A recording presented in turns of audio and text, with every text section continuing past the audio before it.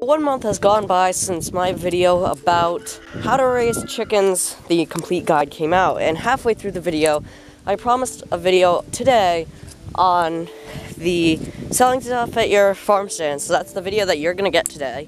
So here's a strawberry, and these are probably gonna be a hit, sorry, like there's so much wind right now, I have to yell at some points of this video, so sorry. But here's a strawberry, you can sell them for about a pound each for maybe like three or four dollars.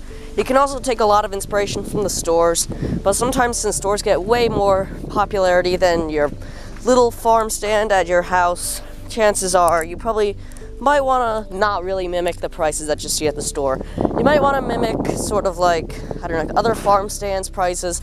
So if you see someone selling them for like $5 a piece, you might as well sell them for $5 a piece. And just so you know, we're going to be going over plants and chicken eggs and also creating general stuff to make your farm stand visually attractive to other people. You see we put it for $3 in here. That's most prices. Not gonna be terribly hard to sell those at $3 since that's gonna be a big hit, I'm suggesting. Now let's continue talking a little bit more about prices. And you might also want to check your growing season because for the first, like, I don't know, like, few months of your growing season, you set up your garden. In my area, I planted around Memorial Day. Probably not gonna be able to get your first stuff out there and probably till like late July or early August. So last minute, like stocking up and stuff like that for the winter, that's a time period you really want to get hard with instantly. So just remember, planting a garden is really hard, but you always want to make sure that you're selling it at the right time too. And also for the right prices. So prices should vary on how much you have in your garden. And I forgot to mention this.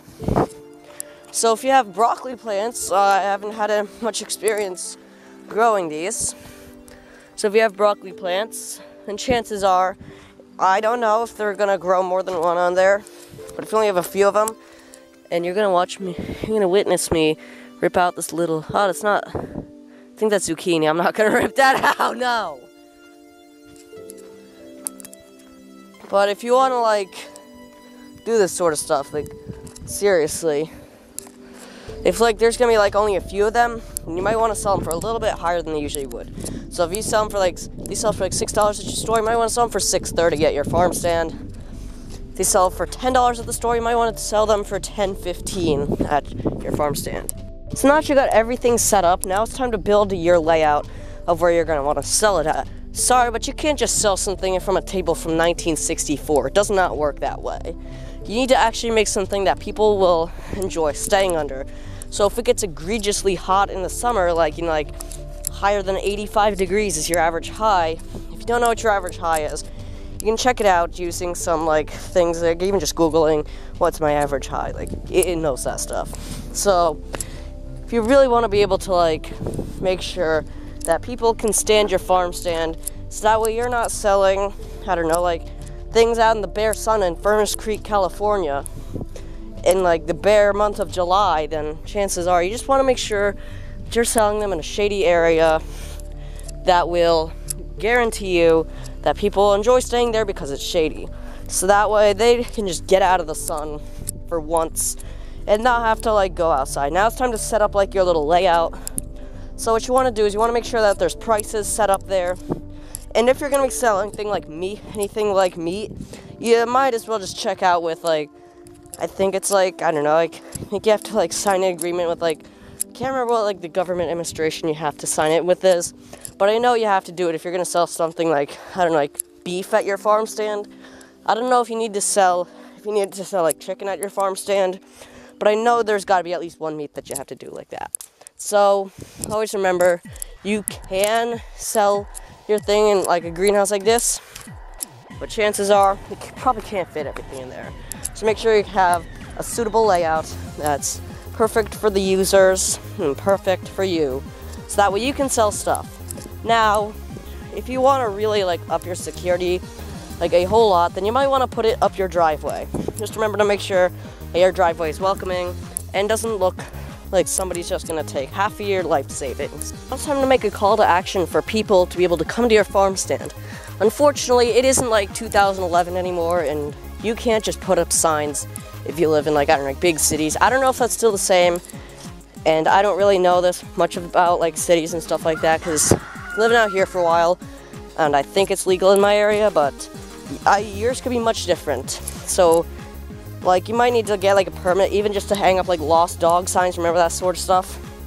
So I think like to do that, like, you can't set up like a lost dog sign, but you can't set up like a call to action for people to be able to do that. So you might want to set up your call to action right then and there.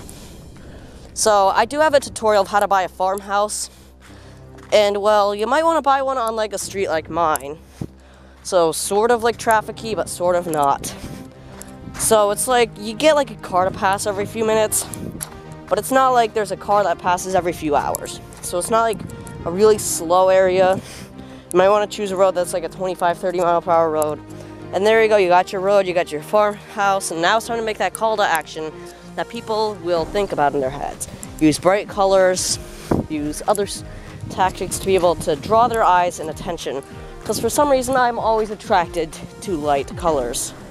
So like, for some reason, my eyes keep on driving right to those li light colored leaves up there. So you might want to use like light colors and other colors that we are naturally attracted to, such as red. So yeah, you might want to make sure that your farm logo has some of those colors in it. I do have a video talking entirely about building your own logo. It's linked in the description below. I want to make sure that the person who bought your stuff will come back in the future. So make sure that you test your own food before selling it because chances are like if you like like if you like get your own cucumber and it tastes like horse shit, chances are nobody's to want to come back to your property just to get more. Because well, if something tastes like then chances are nobody's wanna, gonna gonna want to come back to your property to buy more. So you want to make sure that everything's grown properly. And if something tastes off, you might want to like check out what you're doing wrong and stuff that you're doing incorrectly, correctly, and correcting those mistakes for any future business. So that way you can set up the most successful area for you to earn sort of like, this is not like a full-time job you can work, sort of just a back way to make money if like your job sort of doesn't meet your standards. So not really like a recommendation unless you live on like this huge street and suddenly you have your own property. But chances are you're probably not gonna be able to afford a property like that. So that was it for this video. If you found this information helpful, be sure to like and subscribe so that way I can reach monetization on this channel and actually start to make money so I can actually make real videos, sort of. Because apparently these videos don't pull views, I want to farm views on this channel. So see you next video, and Falcon, get the fuck off my channel.